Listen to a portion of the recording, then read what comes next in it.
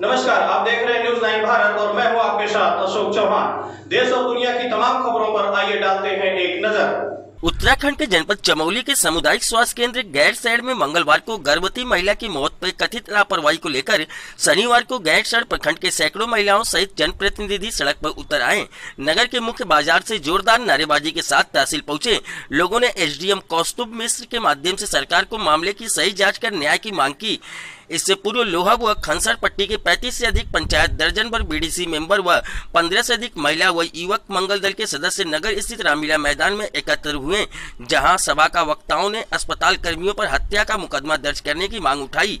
सभा में जिला पंचायत सदस्य अवतार सिंह पुंडेर ने कहा की कमाल का विभाग है, जहाँ जुर्म करने वाले को जज बनाया गया है। शिक्षक की जाँच, मुख्य चिकित्सा अधिकारी कितनी ईमानदारी से करेंगे, इस सहज ही समझा जा सकता है। पीड़ित परिवार को उचित मुआवजे की मांग के साथ उन्होंने निष्पक्ष जाँच कराकर आरोपियों को सख्त सजा दिए जाने की बात कही। ब्लॉक प्रधान संघ अध्यक्ष ने कहा कि जच्चा बच्चा की संदिग्ध परिस्थिति में मौत जघन्य अपराध है।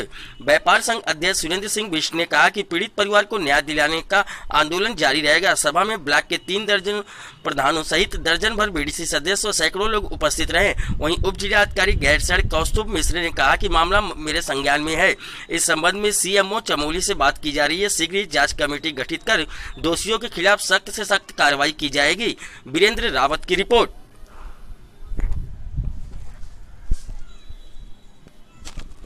है, हमारा स्वास्थ्य महकमा गैरसैंण के द्वारा एक संगीन अपराध किया गया। सत्रह तारीख को इक्कीस वर्षीय श्रीमती हीरा देवी जी यहाँ पर प्रसव के लिए कराने आए थे और चिकित्सकों के द्वारा उनको सामने स्थिति करार देते हुए भर्ती कराया गया। लेकिन 18 तारीख को अचानक पता नहीं उनके द्वारा कौन सा इंजेक्शन दिया गया, कौन सी ऐसी दवा दिया गया कि मरीज़ की मरीज़ की मृत्यु हो जाती है। और जो बच्चा था पेट में, उसके जच्चा बच्चा दोनों की मृत्यु हो जाती है और बिना जाँच के, बिना मेडिकल के उस उस सबको स्वास्थ्य विभाग के लिए दे, वापस कर दिया जाता है। गाँव उनको लौटा, परिवार को लौटा दिया जाता है। हम लोग समस्त गैरसैंण की जनता, ये स्वास्थ्य विभाग महकमे की इस लापरवाही के कठोर शब्दों में निंदा करते हैं और शासन प्रशासन से मांग करते हैं कि इनको कड़ी से कड़ी सजा दी जाए और जो पीड़ित परिवार उनको 50 लाख रुपए तक का मुआवजा दिया जाए। अन्यथा हम लोग कोई भी संघर्षात्मक कदम उठाने के लिए स्वतंत्र होंगे, जिसका आज हमने माननीय मुख्यमंत्री जी को, माननीय जिलाधिकारी को, मुख्य चिकित्सा अधिकारियों को और पुलिस अधीक्षक को यहाँ पर ज्ञापन प्रस्तुत कर दिया है। सर, आज हम यहाँ पे अपनी महिला, हीरा देवी के बारे में आ रखे हैं।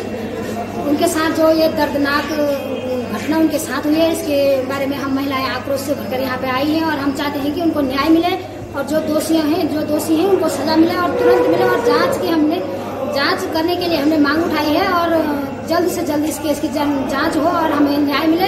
हीरा देवी को भी न्याय मिले। हीरा देवी हो तो हम मतलब हीरा देवी भी एक स्त्री है, हम भी स्त्री जात है पूरी, नारी शक्ति है, इसलिए हम चाहते हैं कि सब महिलाओं को न्याय मिले। हीरा देवी को न्याय सारी महिलाओं को न्याय मिलेगा।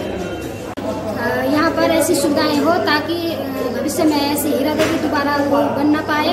आज तक भी यहाँ पर बहुत सारे ऐसे केसेस हो चुके हैं और हमारी पूरी नारी शक्ति यही चाहती है कि ऐसे केस दोबारा ना हो, हीरा देवी जैसी दोबारा स्थिति किसी की ना हो। देखिए, एक मृतक हीरा देवी एडमिट थी जो कि गर्भवती थी। उसके स्वास्थ्य में कुछ इलाज के दौरान ये ग्रामीणों का ये कहना है कि लापरवाही की गई, जिसके कारण उसकी मृत्यु हुई है। इसके संबंध में संबंधित सीएमओ साहब से बात की जा रही है। जिलाधिकारी महोदय को अवगत करा दिया गया है। शीघ्र ही इसमें एक जाँच कमेटी गठित करके उसमें गठित की जाएगी। जो भी अगर किसी ने लापरवाही की है, चाहे वो कोई डॉक्टर हो या कर्मचारी हो, यदि किसी से द्वारा भी कोई लापरवाही सामने आती है तो निश्चित तौर से उसमें नियमानुसार कार्रवाई की